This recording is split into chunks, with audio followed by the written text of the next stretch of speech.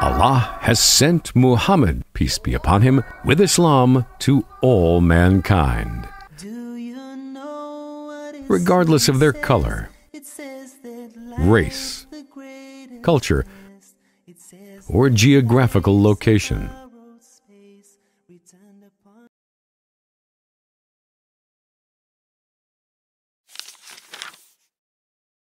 وما أرسلناك إلا رحمة للعالمين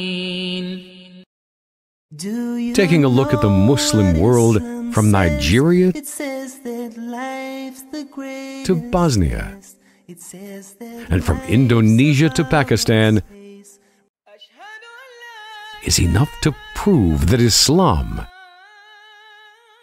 is a universal message for all of mankind.